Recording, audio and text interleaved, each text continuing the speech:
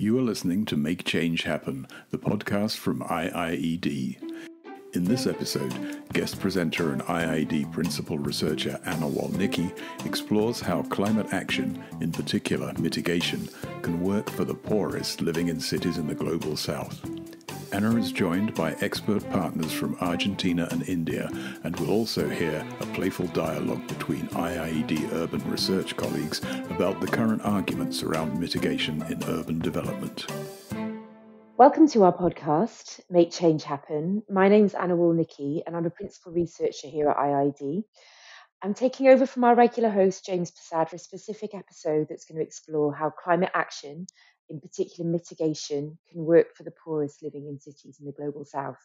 So, IIED continues to support partners who live in communities on the front line of climate change, who are playing a vital role in promoting equitable adaptation at the local level. And we believe that more climate adaptation finance and resources should be put into the hands of local communities, local governments, social movements, federations of the urban poor, those that are living in slums and informal settlements, so that they can adapt to the impacts of climate change, such as flooding, extreme weather events, droughts. Our research has demonstrated that this leads to outcomes that best respond to local needs. However, a sizable proportion of climate finance is focused on decarbonisation and mitigation. Today, we want to explore the scope that climate mitigation actions have to respond to pervasive poverty and also contribute to more just and equitable cities. So, in this episode, with my fellow IIED urban research colleague, Tucker Landesman and Aditya Bahadur, we want to unpick the myth that the urban poor have no role to play in debate or resource allocations related to mitigation in cities and the planning processes that are focused on decarbonising cities or achieving net zero. The urban poor have very low carbon footprints and should not be burdened with the personal responsibility of decreasing their carbon footprints. However, we cannot and must not exclude them from mitigation debates or generation defining decision making. Then we're going to move on to hear from some knowledgeable guests, some long term partners that we're working with on the realities of mitigation in informal settlements. But first, over to Tucker and Aditya, who'll give us a recap of the current debate around linking mitigation and urban development.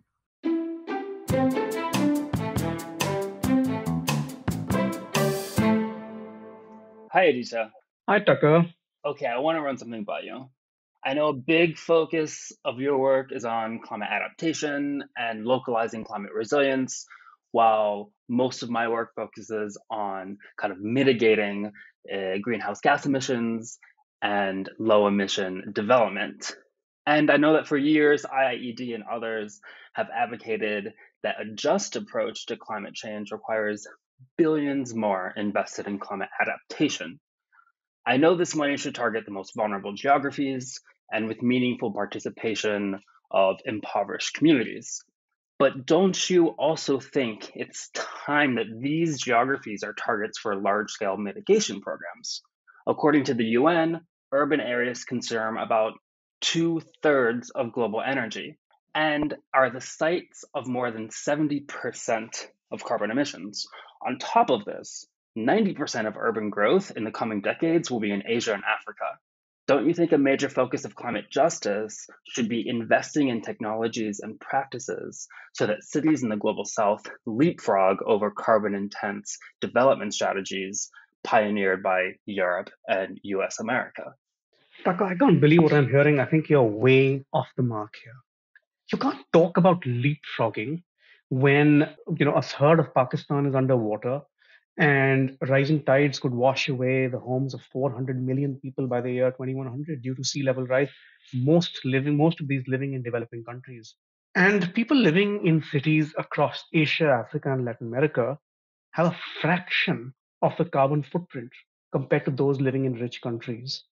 And let's not forget that the carbon footprint is a fairly crude aggregate measure where India's richest man that lives in a 30 story mansion and a poor slum dweller, you know, they combine to deliver this aggregate figure.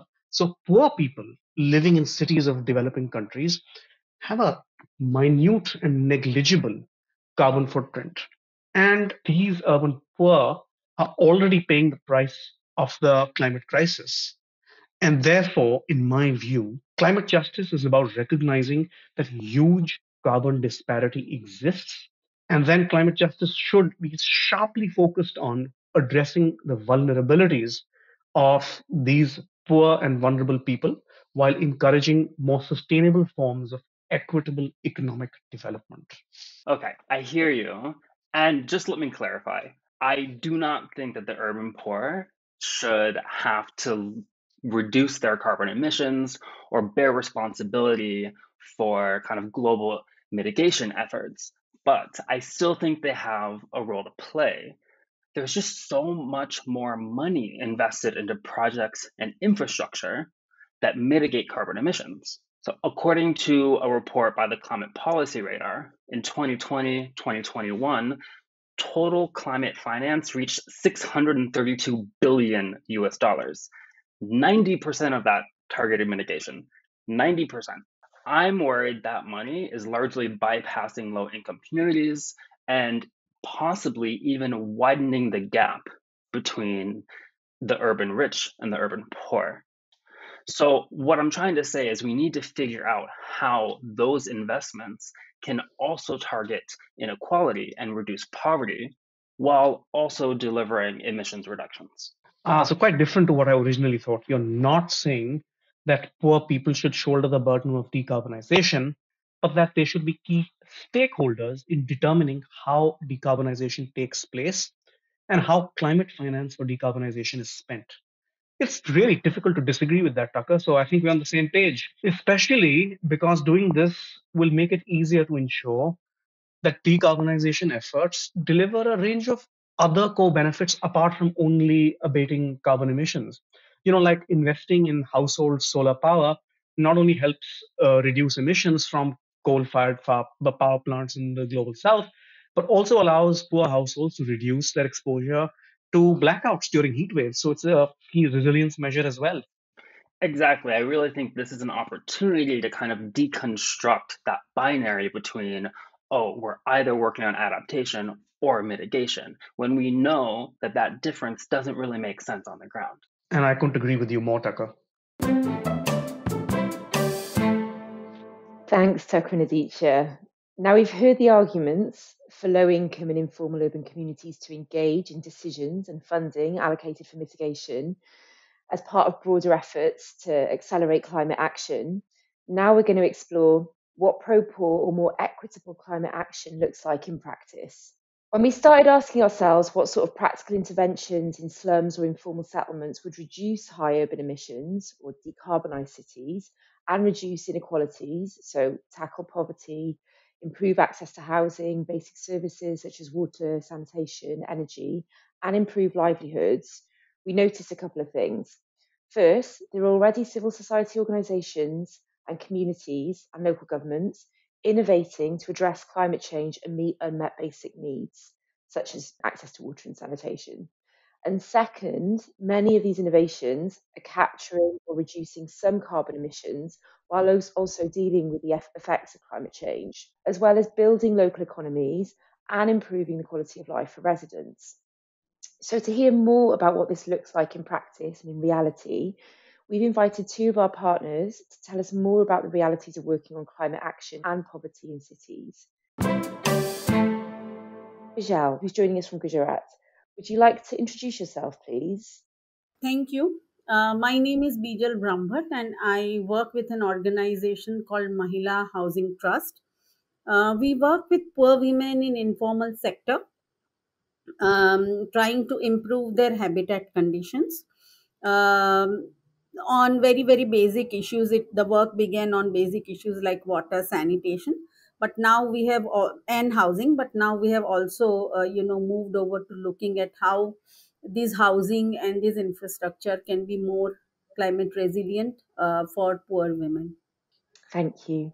So could you tell us a bit more about what you're doing to improve low income neighborhoods in cities in the cities that you're working in so when we started actually working with poor women uh, especially on climate change issues we understood that it is not currently on their priority list because they do their time is occupied with worrying about uh, their livelihoods or how to get a water connection. What interested them actually only in climate change was that they did not want their children to live the kind of lives that they were leading. And that's what really got them interested. Uh, what we are doing currently is that we are organizing these communities. We are training them to assess their vulnerabilities in terms of climate change, which are slow onset but potent disasters. So, like working on heat stress, which the global south is going to uh, get subjected to um, increasingly, or air pollution, or say water scarcity.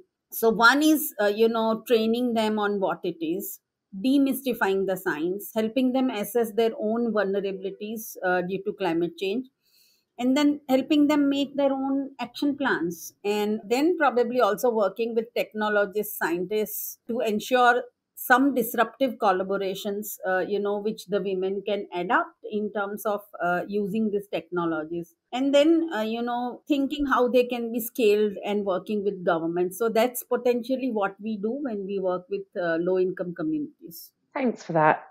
Could you tell us a little bit more about how these interventions support mitigation and people's abilities to adapt to climate change? So, for example, uh, you know, heat is uh, is is a given in India and across the global south. And the IPCC uh, has predicted that it's it's going to be even hotter in areas like us going beyond 50 degrees centigrade. We started working on something like cool roofs which the poor can install in their houses because obviously they cannot afford air conditioners what we did is we actually trained the women to take the readings after installing the cool roof, the heat readings, and then compare it with the meteorological department readings. And then they understood that the roof was really working and they started adopting the cool roof technology. With this, they actually, you know, uh, we had a, in Ahmedabad, we had a city heat action plan which was not focusing on cooling at all. It was merely focusing on keeping hospitals ready uh, when people get heat stroke and early warning systems. So they then went to the government saying that cool roofing uh, could be a part of heat action plan and to which the government listened and now we are working on cool roofs and cooling materials for the entire city and uh, once implemented this will and becomes a part of the policy it will heavily reduce the ghg emissions because of course the electricity consumption will be reduced and from your perspective what are some of the key learnings that are coming out of these interventions in terms of promoting climate action that can also respond to the, the specific basic needs and poverty in informal settlements so I think the first and foremost is that technologists and scientists uh, really keep some of these phenomena and speak about some of these phenomena in a very, very scientific language. That needs to be demystified through some very creative communication material to these women. Secondly, we must ensure disruptive collaborations on technologies for uh, uh, you know addressing the uh, impacts of climate change. Uh, and it's a mutual learning so the technologists and scientists also have to learn from the poor women. Thirdly i think providing finance so that such initiatives scale up and fourth and uh, uh, most important is that these community voices become a part of the government policy making i think these are the key learnings that's a really nice example of how much impact a fairly simple mitigation idea can have and also how women who live in low income urban areas can have a real voice um, around decisions influencing citywide change. I'd like to turn now to Daniel Kozak. Would you like to introduce yourself? Yes, thank you. My name is Daniel Kozak. I'm professor at the University of Buenos Aires, where I am the director of the Research Center Habitat and Energy. Wonderful, thank you. I wondered if perhaps you could tell us a little bit about the sorts of interventions that are being developed to upgrade and improve low income neighborhoods in Buenos Aires at the moment. Yes, of course. At the moment, we are working in a, an ongoing plan that started in 2016. It is an, reurbanization plan, which initially didn't consider um, the environmental dimension. So, our challenge is to try and make as possible as we can to uh, introduce this this layer, this dimension, especially by making room for green spaces and blue green infrastructure in the neighborhood, uh, which is a huge challenge because these are very dense central neighborhoods, uh, very impervious. Uh, so they are very affected by heat island effects and very prone to floodings. And how do the interventions and work that you're involved in respond to housing and basic service needs, whilst also accelerating climate action, specifically decarbonisation? At the moment, we are prioritizing intervention in, in public spaces. So basically, we are trying to look for all the opportunities uh, to add more vegetation whenever we can, sustainable urban drainage systems. For example, uh, the, the original plan, the, the ongoing plan, uh, has a lot of new passages open because one of the basic ideas was to open up to sponge, as it is called in, uh, in the plan, the neighborhood because one of the most acute problems is related to problems related to respiratory diseases because ventilation is very poor. So the, the original plan had the aim of adding more streets and more passages, but I- initially all these streets were dry and also uh, didn't have uh, well the, the, the, possibility of blue green infrastructure and all these uh, ideas that we are trying to bring in so sometimes it is possible to plant a line of trees in very few cases. In most cases, there's not enough space. So we have to come up with more sometimes creative solutions, creating kind of platforms, vertical and horizontal, like vegetated pergolas that can provide shade. And also, whenever we can, uh, we replace impervious sur- surfaces by absorbent uh, soil or different types of semi-absorbent soil and rain gardens. So working in these in these established neighbourhoods presents a challenge in terms of even finding the space to make decarbonisation interventions. Uh, this is not only a challenge because of the lack of space, but also this involves sometimes intense conversation with neighbors because we have to make sure that everybody is happy with having, for example, a rain garden in their streets.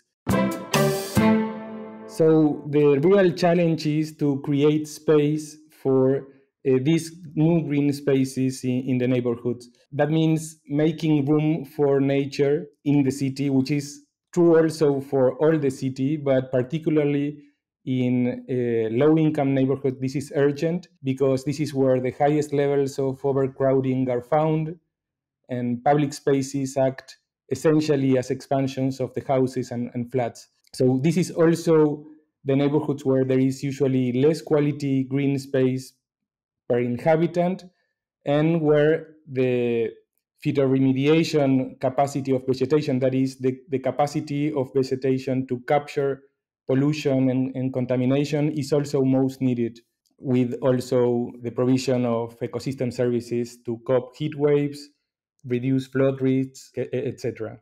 Thanks, Daniel. Now, I'd like to ask both of you a couple of questions.